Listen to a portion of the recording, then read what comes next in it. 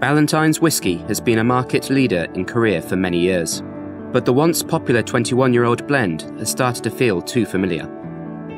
Instead, Koreans are choosing to drink soju, a traditional beverage.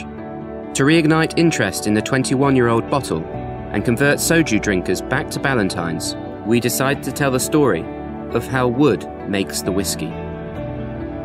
An ambitious art installation celebrating the launch of the 21 year old Signature Oak Edition, a limited series showcasing the characteristics and flavours that European oak contributes to the award winning blend.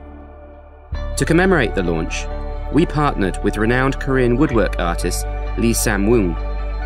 Lee masterfully assembled the European oak used in the barrels to capture the raw essence of the new 21.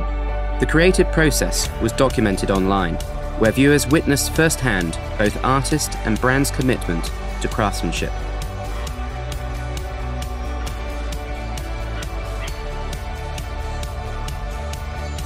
The impressive sculpture was displayed at Korea's Incheon Airport and was eventually made available for the public to win. The announcement attracted countless participants, Lee's visionary masterpiece reached audiences worldwide.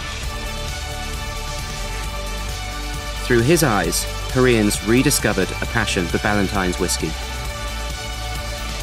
And the 21, which had been considered too familiar, was now seen in a completely new light.